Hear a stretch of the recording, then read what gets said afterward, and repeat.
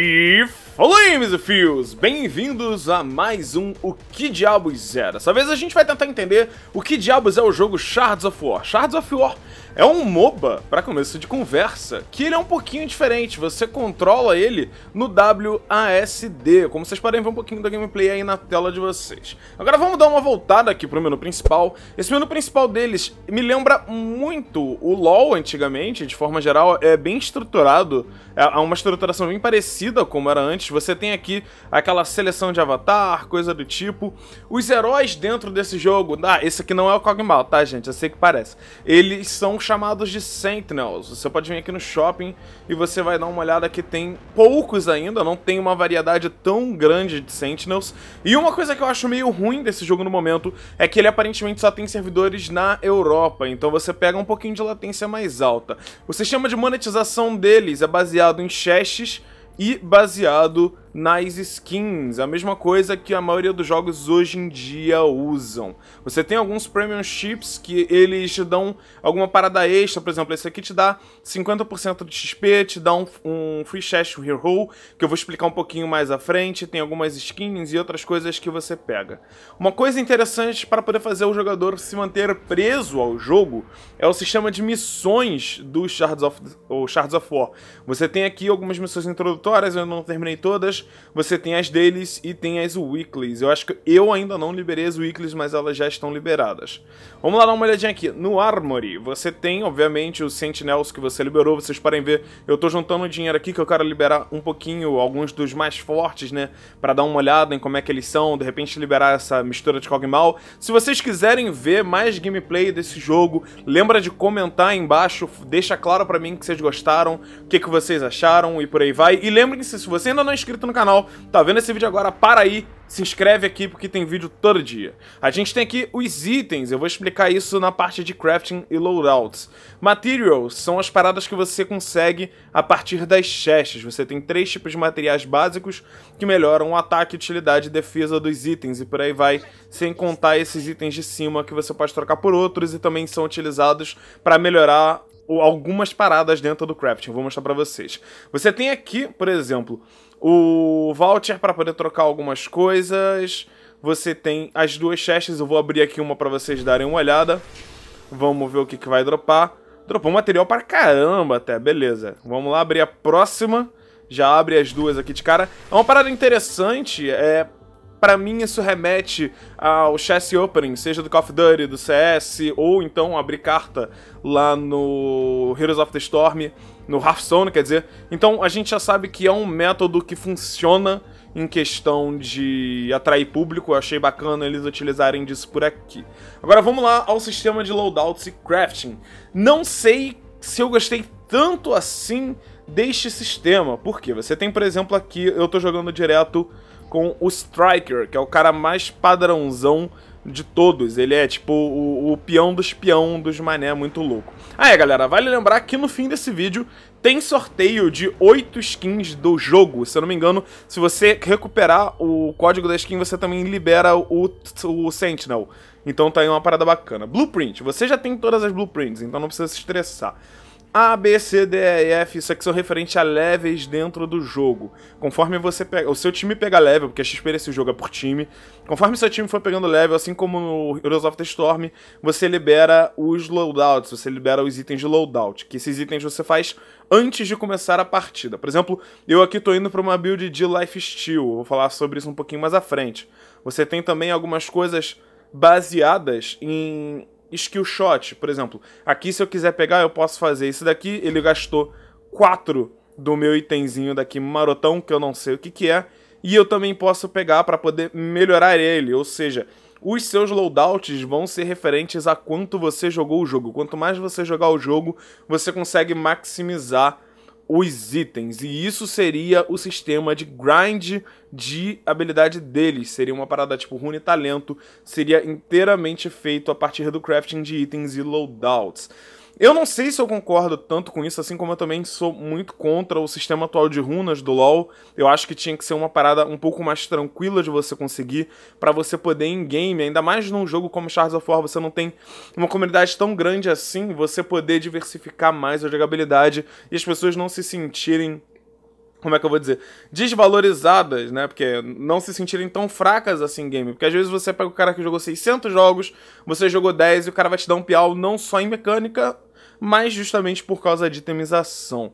Se eu não me engano, deixa eu dar uma olhada aqui, autoloader. Eu posso fazer uma build focada em regeneração de energia, assim como tem aqui uma parada interessante que ele me dá base de ataque não a cada skill que eu uso, ele dá mais dano. Era uma parada dessa. Mas eu vou com loadout que eu já tô aqui. Não vou muito a fundo nesse coisa. Se vocês quiserem um vídeo depois fazendo um loadout, dando uma análise nessa parte de loadout, vocês comentem aí por baixo, que vai ficar numa boa. Vale lembrar que alguns itens que você fizer, eles servem para outros Sentinels também. E isso eu achei já uma parada mais bacana, porque você consegue melhorando um, melhorando os outros. Vamos por aqui agora. A gente indo em loadouts, você pode levar loadouts customizáveis, mas como ainda não um level, não tem acesso a essa aba. O que acontece é o seguinte, você pode customizar mais a fundo o loadout de cada parada. Você faz os itens separados e cria um loadout custom baseado no que você quer, e isso eu achei uma parada interessante, porque ele gera uma diversidade de build. Seria mais ou menos você levar três opções de item por level para dentro do jogo. Alliance é como se fosse as guildas e coisas do tipo. Eu tenho a impressão que você ganha mais XP se você estiver junto com uma galera do seu coisa. E aqui tem um profile muito simples, tá? Você vê que eu joguei, não joguei tantas partidas assim. Ele tem um sistema de badge também para algumas coisas que você consegue. Tem o sistema de invite a friend. Eu vou deixar provavelmente o meu link do invite a friend. Eu não sei como é que funciona isso, mas eu posso deixar de repente lá no Twitter. Se na hora que esse vídeo sair, eu faço esse sistema de invite, tá lá no Twitter. Então, pra você que tá vendo o vídeo agora na hora do lançamento, vai lá, Twitter barra V7TV. Na verdade é só V7, não tem o TV no final, não. Ele tem um sistema de achievements também, que ele dá algumas recompensas, ele dá algumas chaves isso é uma parada bacana, funciona para você grindar. Vamos lá, cortou aqui rapidinho porque eu cliquei no Account Settings e no ESL ele abriu umas abas separadas ali para mim. Ele tem já um sistema competitivo, tá galera? Existem competições semanais feitas pela ESL até onde eu entendi.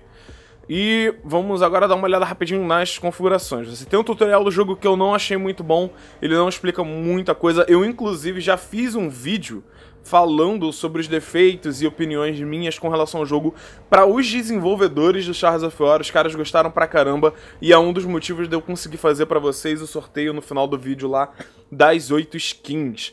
Você pode ativar ou desativar o Crossing Chat. Eu desativo em Game Chat. Eu falei para vocês, todo jogo que vocês puderem, é super bom fazer isso, que você se estressa muito menos. Ele dá um geral de comando hotkeys, tamanho de fonte, coisas do tipo.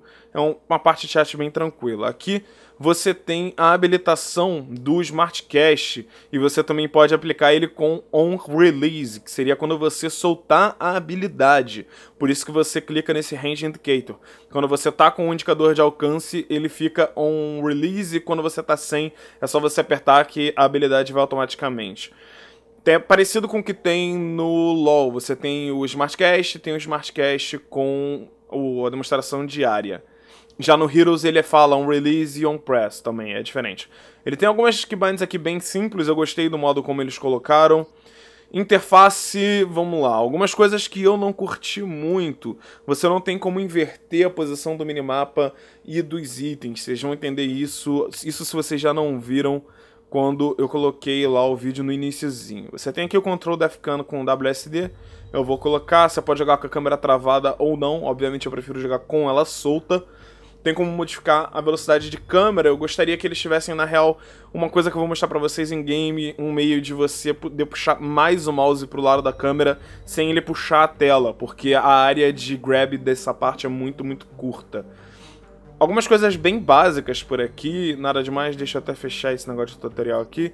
Em questão de áudio, eu gostei bastante, vou até aumentar um pouquinho aqui, para poder depois eu poder editar pra vocês. Ele tem tudo certinho, separado. Isso aqui eu gostei, achei bacana. A maioria dos jogos hoje em dia já vem assim como padrão. E se você tiver algum jogo que venha só com um negócio desse, vocês tinham, reclama porque não é certo. Full Screen e Full Screen Home Base. Home Base, na verdade, é o Full Screen real. Se você não apertar essa função, ele vai ficar em Borderless Window. E o Full Screen, ele muda de janela é, Borderless para janela normal. Aqui eu acho que eles deviam ter uma diferença de qualidade maior, um setup para cada coisa. Eu gostaria de ver esse tipo de coisa, inclusive já falei com eles e eu espero que no futuro eles implementem essa função. Hardware Cursor não faz tanta diferença assim. Eu só acho que a aceleração do mouse não faz tanta diferença, você controla mais no teclado as paradas, então tá de boa. O Shadows, ele tem soft, hard e off, também acho que deveria ter um pouquinho mais de opções com relação a isso. Anti-aliasing foi uma das principais coisas que eu falei. Qual é o anti-aliasing que vocês estão usando? Eles acabaram que não me responderam, mas eu gostaria de uma opção mais sensata para vários tipos de anti-aliasing que você pode usar para justamente a galera que tem uma Radeon poder usar o que funciona melhor na Radeon, galera que usa a Nvidia poder usar o anti-aliasing que funciona melhor na Nvidia e por aí vai. Sincronização vertical, coisa padrão. Um Byte Occlusion, coisa padrão, que é você poder melhorar as sombras e um pouquinho de ajuste de brilho. Já que você tem um slider de ajuste de brilho, por que não uma tela para você realmente ter aquela imagem em sombra e fazer o ajuste fino final? Vamos dar uma olhada agora aqui no menu de batalha. Olha só, como ele fala, não tem um server na minha região. Deixa eu só clicar aqui e você só tem o server default, que é o server lá na Europa. Você pode jogar tanto como time quanto como solo. A gente vai entrar num solo. O custom dele é relativo, você tem três mapas diferentes, você tem dois mapas diferentes, eu só joguei, se não me engano, no Meridian Gate, que é o mapa padrão, é o mapa 5x5, eu não cheguei a dar uma olhada no Empire City, então não posso falar muita coisa pra vocês sobre isso.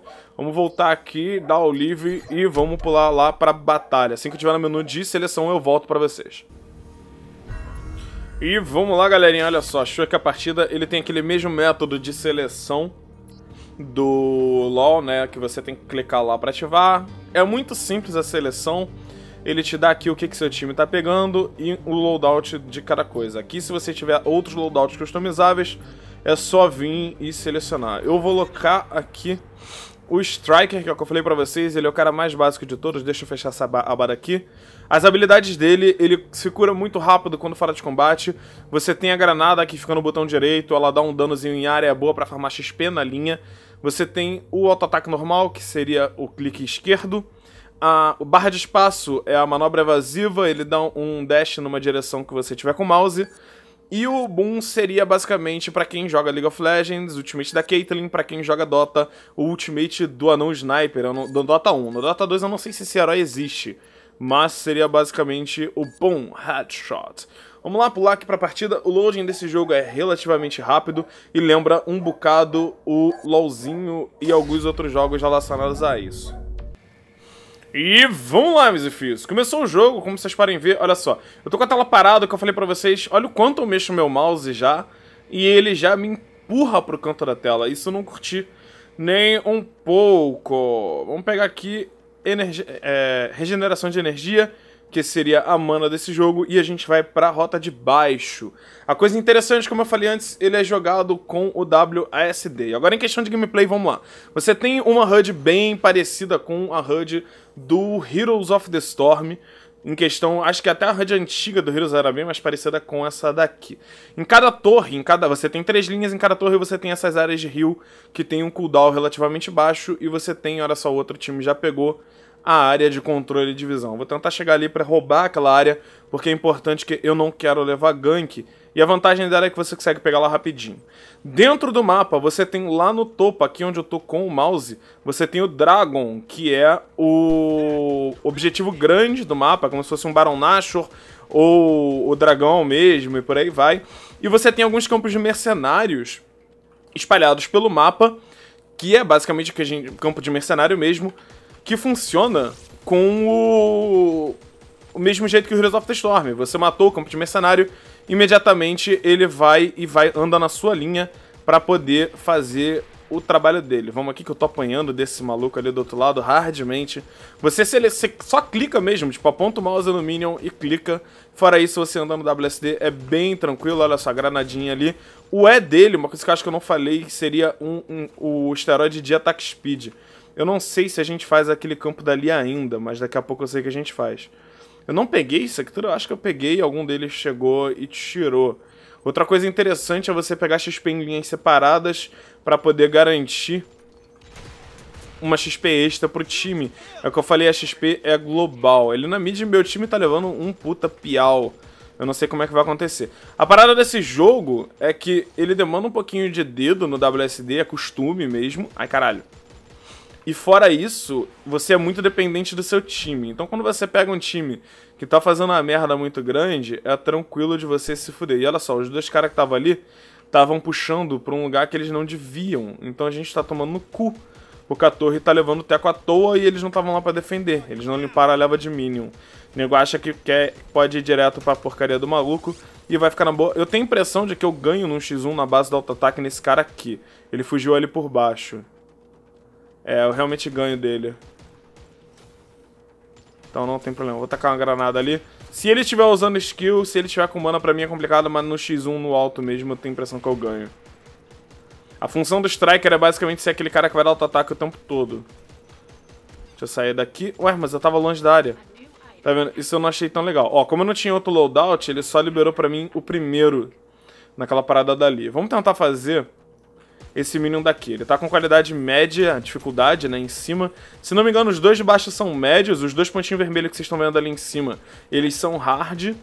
E lá em cima, que é o dragão, ele é o mais difícil de todos. Outra coisa interessante, você também tem que capturar, assim como no Heroes, você tem que ficar aqui em cima e ele te dá um Care Package. Esse maluco vai se fuder aqui. Eu não entendi o que, que ele tá fazendo ali, mas não tem problema não.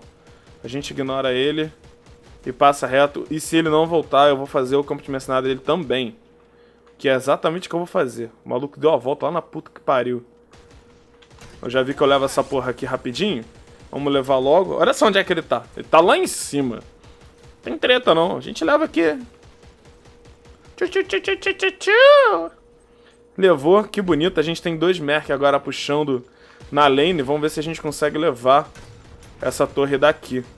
Vou apertar o E aqui pra tentar tirar um dano maior dele. Eu tenho os meus minions para dar cobertura pra mim. Então ajuda pra caramba. Out. Esse cara é um canhoneer, basicamente, né? Tipo, ele dá dano pra caralho com skill. Cacetada. Vamos virar pra cá. Você tem esses shields. Você tem o sistema de mato também, né? De fog, que seria essa parada aqui meio tecnológica. E você tem esses shields que você pode passar andando por eles, mas o dano que você der não vai passar, ó. Tá vendo? O meu tiro para nele. Então é uma dinâmica interessante. Esse maluco tem mais alcance que eu, é impressão minha. Lá na top a gente tá levando um puta piau. Já tem ultimate, eba! Sai, cara. Eu podia ter ficado atrás desse shield, né? Teria sido mais esperto. A gente puxou a torre deles da mid. O que você tem que destruir não é o Nexus, é o QG do time adversário. Então, tipo, você tem que tentar destruir duas torres para poder chegar no QG dos caras. Vamos lá, você pega mais dano depois de usar uma skill. Eu quero poder usar esta habilidade. Quanto tempo falta aqui? O maluco do meu time acabou de pegar. Na real, a galera tá levando lá na mid. Tá sendo um base rush. Vamos lá na mid, vamos tentar ajudar. Já que tá no, na base do base rush, vamos lá. Ó, oh, beleza. Não dá B não, cara. Os caras estão fazendo base race. Vamos ver aqui. Eles têm um Striker e tem aquele maluco que tava comigo na bot. Esse aqui que é o 8 kill dos caras. Se a gente conseguir destruir aquilo ali, a gente dá o win no jogo. Aqui falta quanto tempo? Um minuto. Vou pra cá pegar o controle de visão. Os mapas daqui são bem sci-fi mesmo, eu achei interessante e tal. Mas acho que eles podiam ter ido pra um design um pouquinho melhor. De forma geral, eu achei o jogo bem padrão, bem comum. E isso não me alegrou tanto. Cadê o maluco deles que tá fugindo? Vamos cercar o babaca por aqui. E vamos pegar aquele KS de kill. O cara até desistiu. A kill é minha. Opa, vambora.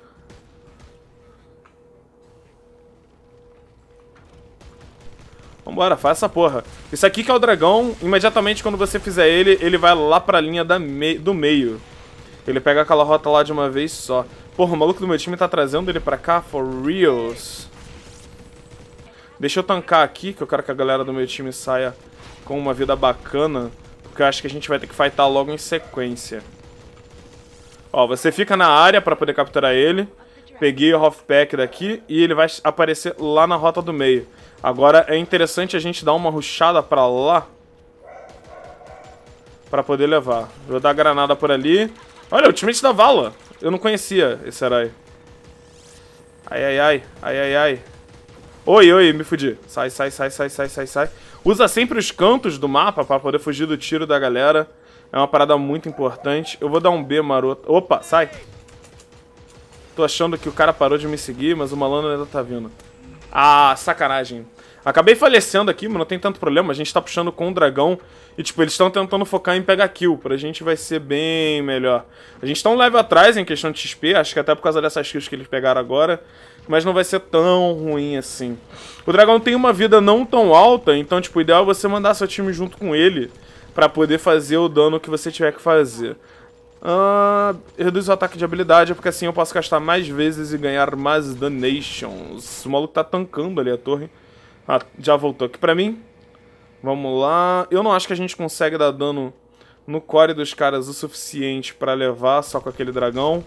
Ele vai morrer antes. Outra coisa que você tem que ficar de olho é nessas paradas ali, que você acaba travando no mapa quando você não tá prestando atenção. Você tem, pra quem tem aquele costume do right click, olha para outro lado da tela e vai embora, você acaba se ferrando. Ah, olha só, o drone daqui é médio mesmo, então tipo, de boa. Vamos levar aqui um pouquinho de dano. Levar esta porrada deste drone. E vamos botar a nossa lane para puxar. Uma coisa também que eu acabei acostumando muito do Heroes é a parada de montaria. E eu hoje acho muito lento a transição de um lado do outro pro mapa. Ainda mais porque eu acho que o mapa do Shards of War ele é muito grande. Vou passar por aqui. Eu não sei se tem como pular por ali, seria uma interação interessante, seria uma parada interessante. Mas eu garanto que eu vou descobrir depois, que eu vou fazer treta. Vamos matar aqui esse maluco. Ativa a habilidade. 4x3, 4x4, vambora. Vou apertar meu R. Snake, vai! Você tá morto, vambora. Continua puxando. O maluco acabou saindo por ali. Eu vou subir e vou fazer o mercenário. Pra gente ver se a gente garante mais XP. Até porque a vantagem do Striker é que ele faz esse merc tranquilo. É bonito ver essa cacetada de dano saindo do barulho.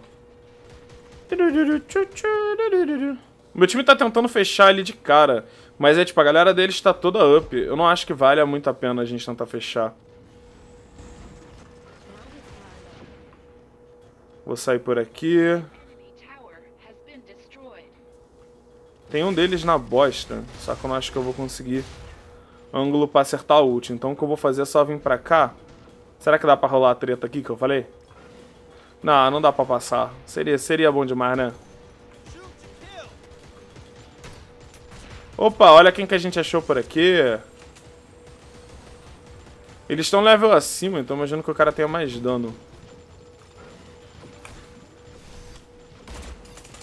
Ai, ai, ai, ai, ai, ai, barra de espaço, volta. Obrigado. Vou sair daqui. Vou dar aquele B maroto. Que a treta tava ficando séria. Eu não consegui matar ali, infelizmente. Eu acho que a gente conseguiu garantir aquela torre da top. Isso, beleza. É XP extra entrando pro time. Nossa HQ aqui certinho. Bonito, bacana. A galera nesse jogo não tem muita noção de estratégia, tá? Pelo que eu entendi até então. Ainda não tem uma meta bem formada. Então é treta o tempo todo. Vai rolar treta na parada. Vocês podem ter certeza. E é isso que é uma das paradas que eu achei interessante no jogo. A, a porradaria rola o tempo todo. Deixa eu limpar esses minions aqui pra eu poder acertar eles. Oi, oi, oi, oi. Oi, oi, oi, oi. Ah, cara, eu não tô com slow. Tem uma habilidade que eu pego que ela dá slow no inimigo. Se eu tivesse com esse slow, eu tinha matado os caras ali muito fácil. Tá, você tá pegando isso. Eu vou lá na rota do, da, de baixo e vou pegar um Merc de lá. Deal additional damage baseado na vida atual deles. Deixa eu passar aqui por dentro da fog, porque aí o nego não vai ver que eu tô aqui embaixo. E vamos sentar o dedo nessa porra desse drone. Aí, meu time tá tretando no meio. Treta mesmo, galera. Treta mesmo, que eu tô levando a raia do mapa. Treta à vontade. Vou pegar o care package aqui.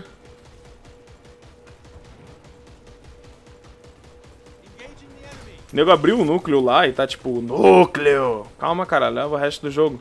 Se eu não me engano, tem Super Minion nesse jogo. O núcleo deles está em 75. Eu vou subir lá para ajudar a tretar. A gente já pegou os Merc mesmo, não tem problema. Como é que tá essa porra aqui? Você tem que ficar muito de olho no minimapa pra poder não fazer merda. Pra poder andar direito nesse jogo. Essa é a bosta.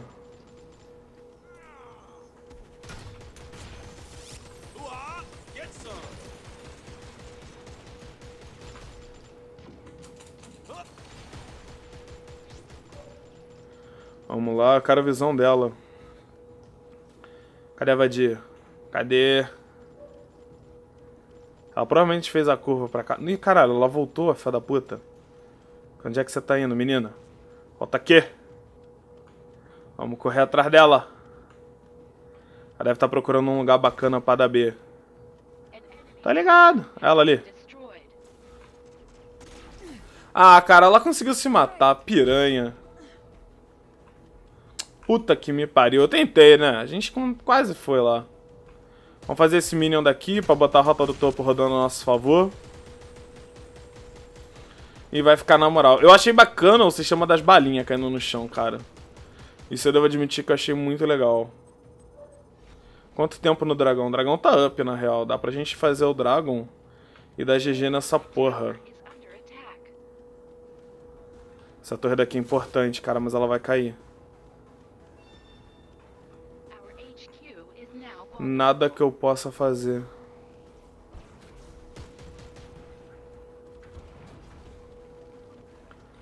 Ih, tá rolando treta aqui, ó. Nem dá pra gente puxar o bagulho.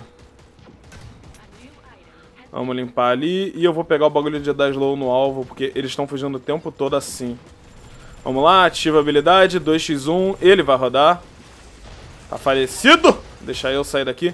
Que eu tenho a impressão que aquilo foi o ultimate dele. Oi, que eu dei de cara com outro striker.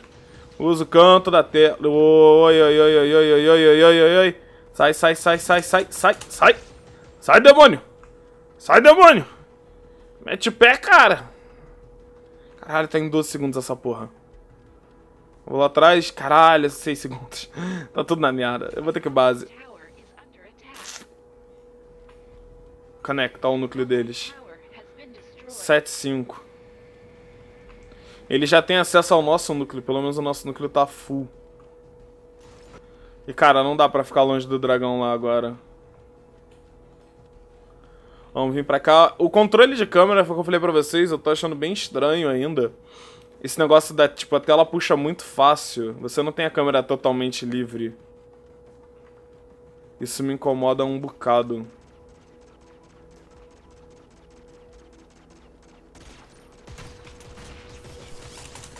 Cadê o maluco que tava aqui? Tá solando a porra do Dragon. Eu vou ter que sair daqui. Pra cima, pra baixo, pra cima. Isso. Se eu estiver puxando eles, eu tô de boa. Oi! Beleza. Soltei o teco na cara do maluco. Que aí pelo menos o maluco lá do meu time não se fode. Mas aí o cara deu uma cara do caralho. Ele podia ter me ajudado, a gente tinha levado os dois deles. Ah, que ele pegou visão no último segundo, cara. Mata piranha, mata piranha. Porra, mata, cara. Tá, eu ganhei um assist, eu acho. Não, foi o maluco que levou. Acabou que eu não levei porra nenhuma. Eu não tenho chat, né? Eu não posso falar com os caras. É, tipo, o ideal seria mandar agrupar aqui. Você vê que, tipo, o jogo tá em 15 minutos, é um jogo relativamente rápido. Ele não demora tanto. Fora que você conta muito com o time. Esse é, é a parada do jogo. Esse é o tipo de jogo que é muito difícil você levar solo. Cara, se vocês querem fazer, faz logo, mano. Não enrola, não. Nego tá dando voltinha lá na top. É tipo, defende aqui, cara. Os caras tão perdidos lá em cima.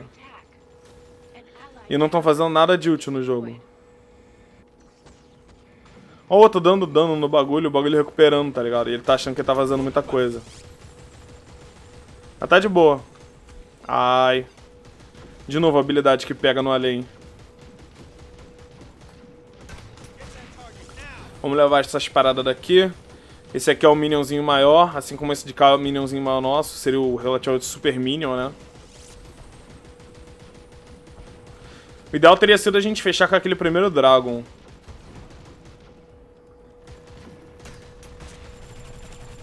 Deixa eu sair da linha de tiro dela. Eu tô à toa, basicamente. Bom! Ah, caceta. Morre, caralhão. Caralho, os dois do meu time, eles conseguiram se matar no dragão. Eu mereço a parada dessa. Sério, isso é hilário. Eu não tenho palavras para descrever. Ah, o time inimigo fez, porque eles não estavam junto com a gente em momento nenhum. Mas tá de boa. Pegar isso daqui. O dragão dele já vem no meio. Lá no topo a gente tem o mercenário segurando. O problema é que vai vir cinco deles aqui no mid. For reals. Deixa eu meter meu pé daqui. Esse maluco tem um alcance escroto, apesar dele não estar tá dando tanto dano. Lá na bot a gente tem um cara solo querendo puxar, só que assim, a gente vai precisar de ajuda aqui. Para poder pingar é o Alt. É um sistema bem padrão, tipo, a maioria dos jogos acabou pegando esse sistema do Smart Ping, então é uma parada bacana. E isso ali você não faz. Você não tanca o dragão! Vamos ver se eu consigo levar essa porra aqui. Ai, caralho, o maluco tá dando um dano absurdo. A gente vai acabar morrendo. Provavelmente vai ser isso aí, galerinha, o jogo.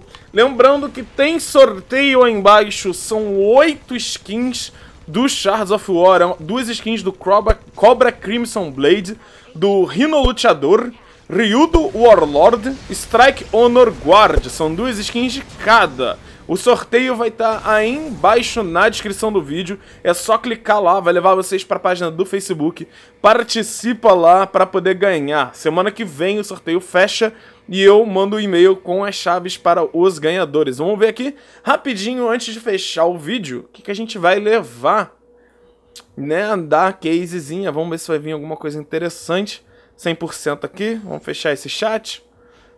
Matei duas pessoinhas só, morri três. Não fidei tanto assim.